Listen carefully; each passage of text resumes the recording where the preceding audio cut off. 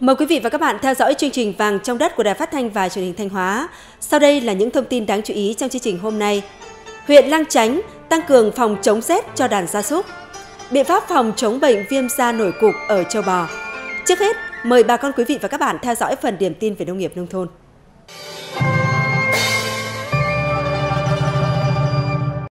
Thưa bà con, thưa quý vị và các bạn, đến thời điểm này, các địa phương ở Thanh Hóa đã gieo trồng được trên 47.500 ha cây trồng vụ đông, đạt trên 94% kế hoạch.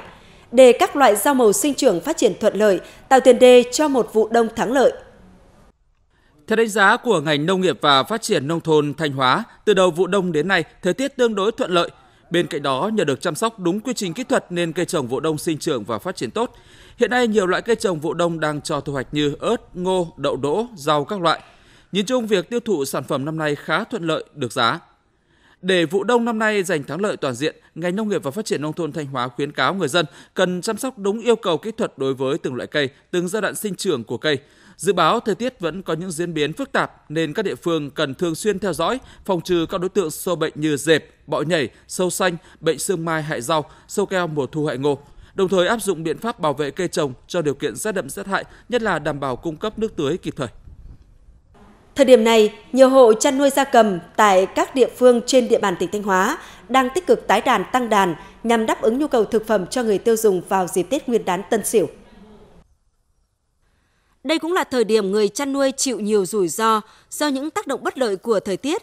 Chi cục Thú y và chăn nuôi tỉnh Thanh Hóa khuyến cáo người dân không nên tái đàn, tăng đàn ồ ạt mà giữ ở mức độ phù hợp với quy mô chuồng trại, tăng cường cập nhật thông tin về tình hình thị trường các sản phẩm chăn nuôi trong và ngoài tỉnh để chủ động trong việc tăng giảm số lượng, đảm bảo chăn nuôi đạt hiệu quả cao. Bên cạnh đó, người chăn nuôi cần mua con giống ở những địa chỉ có uy tín, được cấp giấy chứng nhận đủ tiêu chuẩn sản xuất con giống. Khuyến khích người dân tăng cường áp dụng các quy trình chăn nuôi theo hướng an toàn sinh học, tạo ra các sản phẩm chất lượng, đảm bảo an toàn vệ sinh thực phẩm, thực hiện nghiêm công tác kiểm dịch, kiểm soát giết mổ và kiểm tra vệ sinh thú y nhằm đảm bảo nguồn thực phẩm an toàn cho người tiêu dùng trong dịp Tết Nguyên đán Tân Sửu 2021. Những năm qua, huyện Bá Thước, tỉnh Thanh Hóa đã đẩy mạnh phong trào quản lý, bảo vệ và phát triển rừng. Nhờ đó đã phát huy hiệu quả tài nguyên đất rừng, tích cực phủ xanh đất trống đồi núi trọc, cải thiện môi trường sinh thái, từng bước nâng cao thu nhập cho người dân gắn bó với nghề rừng. Những năm qua, huyện Ba Thước, tỉnh Thanh Hóa đã đẩy mạnh phong trào quản lý, bảo vệ và phát triển rừng, nhờ đó đã phát huy được hiệu quả đất rừng, diện tích phủ xanh đất trống đồi núi trọc, cải thiện môi trường sinh thái, từng bước nâng cao thu nhập cho người dân gắn bó với nghề rừng. Từ năm 2016 đến nay, huyện Ba Thước trồng mới được gần 2.500 hecta rừng, khoán khoanh nuôi và khoán bảo vệ trên 550 hecta cho 1.615 hộ cộng đồng thực hiện thâm canh phục tráng được 1.870 hecta rừng luồng. Trong 11 tháng năm 2020, hạt kiểm lâm Bá Thước đã phối hợp với các lực lượng chức năng và chính quyền các xã chủ rừng tổ chức tuần tra rừng với 342 lượt người tham gia, phát hiện bắt giữ và xử lý 80 vụ vi phạm luật lâm nghiệp, thu nộp ngân sách nhà nước 469 triệu đồng. Để thúc đẩy kinh tế rừng phát triển theo hướng bền vững và đặt mục tiêu nâng tỷ lệ che phủ rừng đạt trên 70%, huyện Ba Thước đang tiếp tục vận động nhân dân trồng chăm sóc bảo vệ rừng theo hướng áp dụng tiến bộ khoa học kỹ thuật để nâng cao giá trị sản xuất lâm nghiệp, đẩy mạnh thu hút các đơn vị doanh nghiệp liên kết đầu tư sản xuất, qua đó tạo việc làm, tăng thu nhập cho người dân, góp phần xóa đói giảm nghèo, cải tạo được môi trường sinh thái và tạo điều kiện thúc đẩy kinh tế phát triển. Mới đây, Sở Nông nghiệp và Phát triển Nông thôn Thanh Hóa đã có văn bản tham mưu cho Bộ Nông nghiệp và Phát triển Nông thôn xác định thời vụ nuôi tôm sú tại tỉnh Thanh Hóa. Căn cứ vào đặc điểm sinh trưởng và phát triển của con tôm sú, điều kiện thời tiết, thổ nhưỡng và hiệu quả nuôi tôm sú tại tỉnh Thanh Hóa trong những năm qua, Sở Nông nghiệp và Phát triển Nông thôn Thanh Hóa đề nghị thời vụ nuôi thả tôm sú năm 2021 là từ tháng 3 đến tháng 8 Hiện nay trên địa bàn tỉnh Thanh Hóa có khoảng 3.600 ha nuôi tôm sú, chủ yếu là nuôi quảng canh. Việc nuôi thả phụ thuộc nhiều vào điều kiện thời tiết.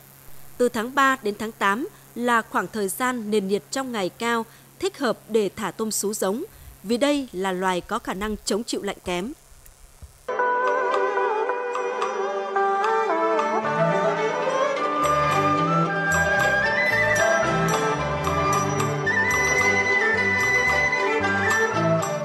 Bản do ảnh hưởng của không khí lạnh trong những ngày vừa qua trên địa bàn huyện Lang Chánh, nhiệt độ giảm sâu, gây ảnh hưởng tới đàn gia súc trên địa bàn của huyện.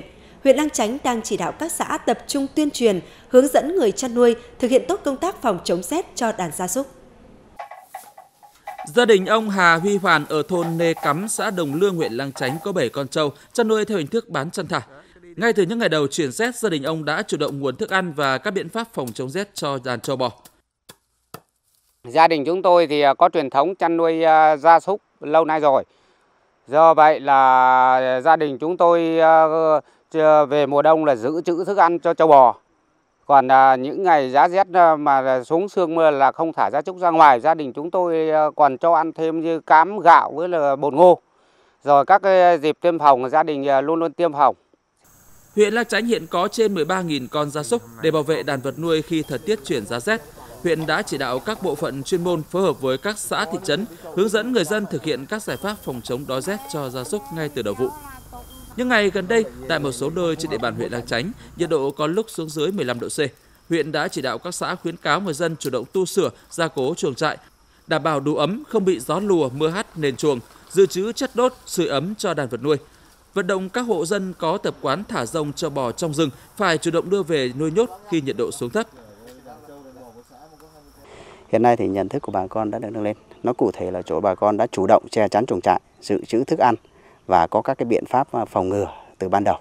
Đặc biệt là chúng bà con đã không chăn thả à, rông à, như ngày trước tức là nhiệt độ nó quá 15 độ C thì bà con là gần như là không không không không chăn thả. Đấy và cũng đã chú trọng chú trọng trong cái việc là À, có các cái cái cái cái bạt che chắn này rồi chăn màn để để phủ cho châu bò trong cái mùa rét đậm rét hại.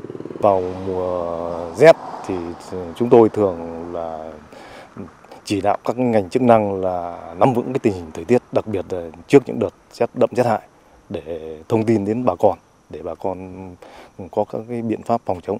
Chúng tôi hướng dẫn cho bà con về cái công tác giữ gìn vệ sinh chuồng trại rồi che chắn chuồng trại để giữ ấm cho đàn châu bò. Với sự chủ động chỉ đạo của cấp ủy chính quyền, đặc biệt là các hộ chăn nuôi trong việc triển khai các biện pháp phương án phòng chống rét, đến thời điểm này, tổng đàn vật nuôi trên địa bàn huyện Lang Chánh vẫn ổn định.